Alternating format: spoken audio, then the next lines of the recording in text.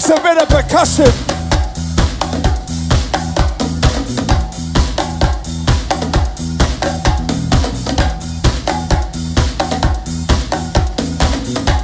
Put your hands together for Judge Jules Live. Every single time, without exception, in about the 30 or 40 shows that we've done, has been off the chart, literally. I'm a music lover, and I. So what we try to do, you, you've got orchestra shows where basically you've got orchestras playing uh, exactly replicated versions of classics, and you've got kind of. Um, I don't know, DJs playing classic sets. This is a combination of a lot more than that. It's it's kind of mashups where you might take two bits of records that people recognise with uh, singers and kind of musicians playing the two together.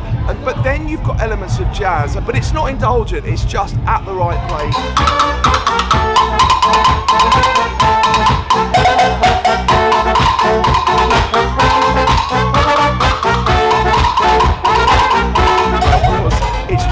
A different experience. I genuinely don't think there's anything else out there doing what we're doing.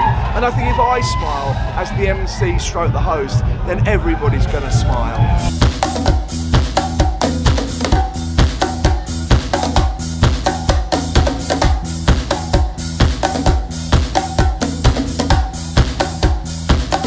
Put your hands together for Judge Jules Live.